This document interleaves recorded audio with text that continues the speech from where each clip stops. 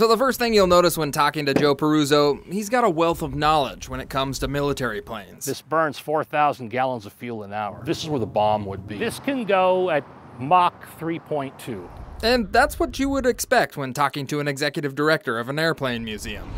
It is the, the main tourist attraction in Merced County. We draw about 50,000 people a year. This is the Castle Air Museum in Atwater, home to the largest collection of military planes in California. That's what we do is we save pieces of aviation history when the Castle Army Air Force Base opened up in 1941, it was a basic flight school.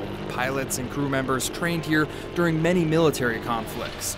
But over the years, old aircrafts were grounded, and eventually a collection of the decommissioned planes were put on display.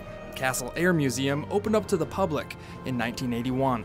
A walk through aviation history.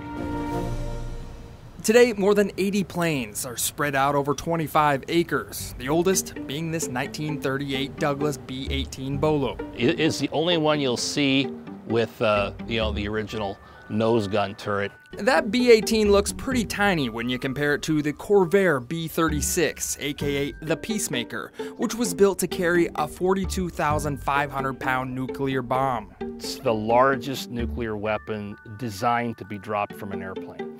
At one time, the Department of Energy had about 200 of these in the inventory.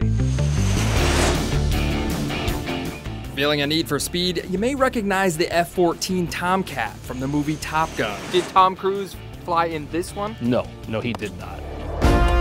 Well, Tom Cruise didn't ride in this plane either, but the POTUS did. Two sitting presidents for sure uh, Reagan and Clinton. This is an actual Air Force One VC 9C, and visitors can take a tour inside. It's equipped with all the luxuries and technologies that were used from 1975 to September of 2005. And if you want, you can sit in the president's seat. I kind of wonder at what conversations took place in here. The museum's collection is always growing. This is a piece of history. Some planes fly into the museum, while others come in multiple pieces, and they're reassembled by engineering students from UC Merced and volunteers like Pat Patton, who take great pride in their work. There's people before us that gave their lives. Those are the heroes. We're just here to preserve their memory.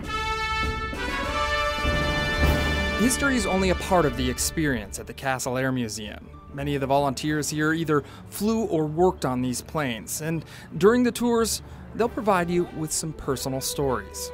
How, how fast could we get to LA from here? About six and a half minutes. From Castle Air Museum in Atwater, I'm John Bartell. Hope to see you on the back roads.